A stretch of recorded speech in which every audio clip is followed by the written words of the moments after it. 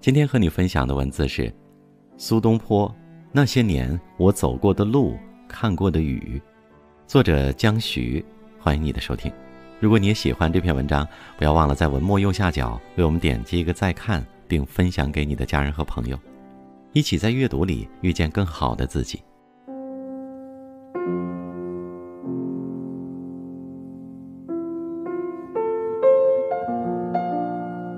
公元一一零一年的夏天，苏东坡终于获得大赦，可以结束流浪生涯，实现南渡北归的愿望。这一年，他已经六十五岁了。他从偏远的儋州出发，计划中是要回常州安度晚年的。一路风尘仆仆，遭受各种艰险。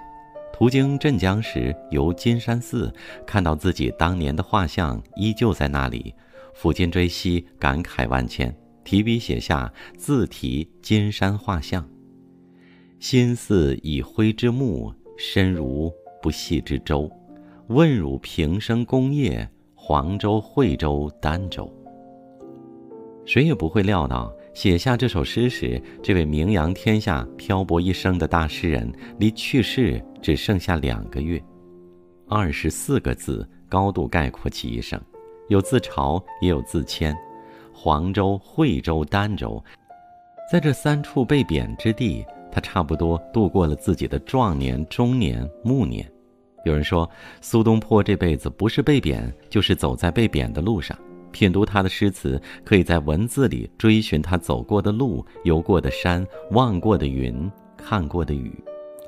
当我翻开书卷，漫步在苏仙的诗词世界里，遇见很多场雨，不同的地方，不同的心境，不同的风声雨味，弥漫出不同的人生况味。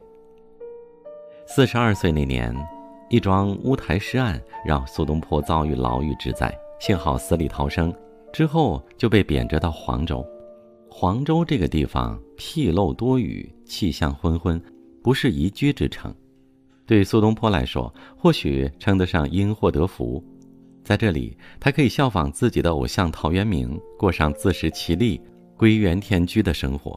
他带领家人建设家园。开垦荒地，筑水坝，挖鱼塘，种植树苗，培育蔬菜，农夫生活过得忙忙碌碌，风风火火。农闲时，他还钻研美食，自创东坡肉，给家人改善伙食，又在大雪天盖房子，取名雪堂。当地太守敬重这位大文豪，将去江无石步，风涛烟雨，小溪百变的临高亭赠予他居住。每当闲来无事，半躺在亭子里，酒至微醺，看云来云往，江水悠悠，感受天地之美，实属人生一大快事。元丰五年的春天，也就是来到黄州的第三年，有一天，苏东坡和朋友结伴出游。当他们走到一个叫沙湖的地方，风雨忽至。同行那几个人因为自己变成落汤鸡而感到十分狼狈，只有苏东坡不觉得，始终泰然处之。雨过天晴，灵感触机而生，他写下一阙《定风波》：“莫听穿林打叶声，何妨吟啸且徐行。竹杖芒鞋轻胜马，谁怕？一蓑烟雨任平生。”料峭春风吹酒醒，微冷，山头斜照却相迎。回首向来萧瑟处，归去，也无风雨也无晴。当雨滴落在枝头，旁人避之不及，苏东坡却照样悠然行走，还不忘长啸吟咏。一杆竹杖，一双芒鞋，一身蓑衣。就可以让他从容前行，从不瞻前顾后，也不在意路上泥泞。返回途中，雨也停了，酒也醒了。回首来时路，浴火重生的苏东坡在心里感慨：人生啊，其实无所谓风雨，无所谓天晴。风雨也好，天晴也罢，都是生命的经历。庸庸俗众，有多少人让自己的心情受控于天气？天晴时心情就好，天阴了心情变糟。面对人生的阴晴雨雪，心境同样受制于外界环境。心灵不自由，做不到活在当下，促使我们错过很多风景。若能心不为形役，若能境由心造，也就有了别样的境界。黄州的这场春雨，让我想到汪国真的两句诗：“心晴时雨亦是晴，心雨时晴亦是雨。”管它是风，管它是雨，一蓑烟雨任平生。这是苏东坡超越时代后的坦然与乐观。如果说婚姻是一场赌博，苏东坡三次都赌赢了。他一生娶过三个女人，一个关爱他，一个崇拜他，一个懂得他。这朵可遇不可求的解语花，便是第三任妻子王昭云。有一天，苏东坡退朝回到家，吃罢饭，抚摸着肚腩，试问旁人：“知道我肚子里装的是什么吗？”有人说是文章。有人说是博学见识，唯有朝云回答的俏皮，是一肚子的不合时宜。苏东坡听闻此言，开怀而笑。所谓懂得，就是两个人能在同一语境，能够想你所想。当年在杭州任职时，苏东坡遇到朝云，他是才艺出众的歌妓，才十二岁，貌如春园。王润之将她买下作为丫鬟，从那之后，朝云就跟在苏东坡身边。谪居黄州时，苏东坡纳朝云为妾，没多久生下一个儿子，取名顿儿。苏东坡欢喜非常，还写下一首喜儿诗：“我皆养子望聪明，我辈聪明误一生。唯愿我儿愚且鲁，无灾无难到公卿。”宦海里沉沉浮浮，苏东坡早已看透官场险恶。他不指望孩子博取功名，只愿幼儿健康快乐，一生平安。可惜天不遂人愿，因为生存条件艰苦，顿儿不到一岁就夭折了。后来苏东坡被流放到岭南，他只带了朝云、儿子苏过，还有两位老仆。在岭南，他俩见放生池，一起访仙问道。苏东坡还在诗文里称赞朝云为天女为魔。这对老夫少妻相差二十多岁，却是志趣相投的伴侣，追求一样的生活方式。岭南偏安一隅，有机会品尝各种热带水果，又有红颜陪伴在侧，苏东坡越发随遇而安，还写诗调侃自己：明年注释做惠州人。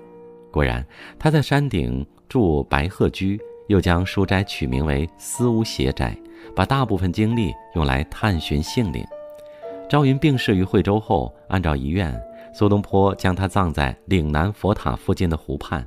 墓旁建有六如亭，亭上撰有一副楹联：“不合时宜，唯有朝云能使我独弹古调。每逢暮雨倍思亲。”这时候，苏东坡自己也已行至暮年，他对着眼前的潇潇暮雨，心中翻涌着幕幕往事，愁如海，思念亦如海。当他调弄琴弦，琴声匆匆，就会不由自主地想起赵云。那个陪他走过风雨人生路，让他最有知己之感的红颜，一句“每逢暮雨倍思亲”，既有燕诗妻侣的感伤，更有诗人对亡妻的深情。一场冷冷清清的暮雨，一段情深意重的怀念。惠州的雨，寄取了苏东坡的儿女情长。公元一零九七年，苏东坡已是花甲之年的老人，他再次被竞争浪潮席卷。贬谪至儋州，现在的海南是旅游版图上的天涯海角，那时的儋州却是偏远的荒蛮之地。苏东坡写信告诉友人：“此间食无肉，病无药，居无室，出无友，冬无炭，夏无寒泉，反正是要啥没啥。”再艰苦的生存条件也不能磨灭苏东坡的生活热情。他很快融入当地百姓，和众人在椰树下席地而坐，谈天说地。元宵之夜，当地老先生邀请他一起出游。皓月当空，大家走街串巷，这里瞧瞧，那里逛逛，一路谈笑风生。回来时已是三更，家人早已熟睡。他突然对人生得失有所领悟，自个儿放张大笑。他还是和以前一样，因地制宜搞发明，自创各种美食，还不忘写诗夸赞自己。墨江南海金鸡快，轻笔东坡玉深耕。谪居儋州期间，在儿子苏过协助下，苏东坡除了完成对《尚书》的注解，编成《东坡志林》，还创作一百多首贺桃源诗，那是他与精神偶像跨越时空的心灵对话。不论身处何地，哪怕穷山恶水，诗词书卷始终是一个人的精神避难所。公元一一零一年，苏东坡谪居儋州的第四个年头，宋哲宗病故，朝廷党争掀起新一轮的风云突变，风起云涌，再沉再浮。作为被打压的旧党派人士，苏东坡预设北归。归途中，他回望自己这一生，如风中飞蓬，东飘西荡，颠沛流离，竟然还能活着回去，算是老天眷顾吧。那是六月的一天，深夜，雨也停了，风也歇了，天上星辰闪烁。苏东坡站在船头，船在夜色笼罩下的海上前行，兴奋、激动、叹息，他将心中百感付诸笔端。参横斗转欲三更。苦雨中风也解情，云散月明水点缀，天容海色本澄清。空余卢叟乘浮意，粗石轩辕奏乐声。九死南荒五不恨，兹由奇绝冠平生。云开雾散，海清月明，这是呈现于他眼前的自然风光，也暗喻澄清之后的官场环境。或许更是诗人雨过天晴的内心，他调侃地说道：“虽然差点死在那块荒蛮之地，但我无悔亦无恨。现如今回过去看，这段流亡岁月乃是平生奇绝的历程啊！一个人若能看透生死，苦中作乐，哪怕吹着中风，淋着苦雨，也能当下解脱，立地成佛。这是苏仙的人生智慧。